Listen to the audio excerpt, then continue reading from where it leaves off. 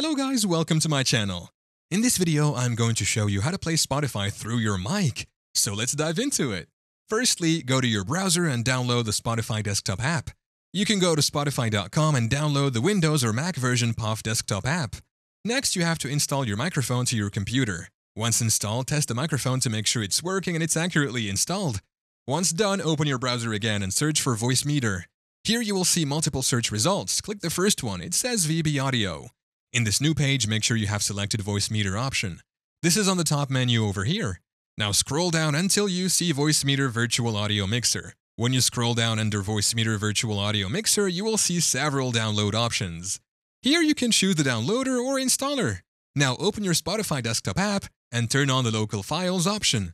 Once you have downloaded and installed the Voicemeeter Virtual Audio Mixer, open your audio and volume settings. Here you will set it up as an output device. You can then go to the properties of Voicemeeter Virtual Audio Mixer and make sure the volume is on. You can play around to increase or decrease the volume until you find your preference.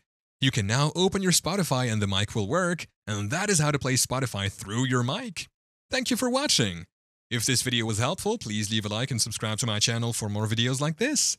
And click on that notification bell to never miss an update.